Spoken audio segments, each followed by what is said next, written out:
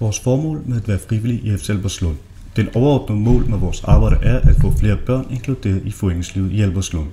Fodboldklubben FC Alberslund er med til at give børn og unge en følelse af at være en del af et forpligtende fællesskab, plus at give børn og unge et alternativ i stedet for at hænge ud på gaden.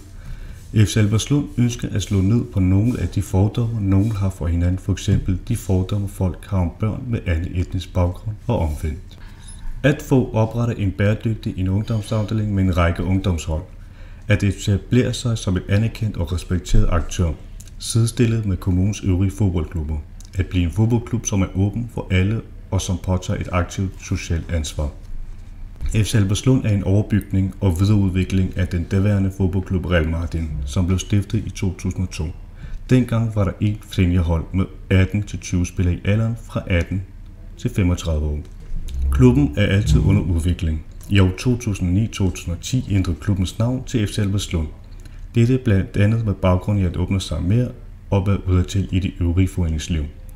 Vi har haft stor succes med at udvikle klubben. Vi har opnået at have fra et hold til otte hold, hvor vi i dag har ca. 160-180 spillere i alderen 9 år til 37 år. Hvor ungdomsafdelingen udgør mindst 120 spillere. Vores målsætning er at få inkluderet de etnisk danskere, hvilket det er lykkes for vores seniorhold. Vi håber at kan byde velkommen til flere etnisk danskere spillere i klubben i fremtiden. Vores ungdomsafdeling fungerer rigtig godt på nuværende tidspunkt, og der er en stigende grad nye medlemmer til klubben. Vi er ved at arbejde på at få endnu flere ungdomshold med etnisk danskere.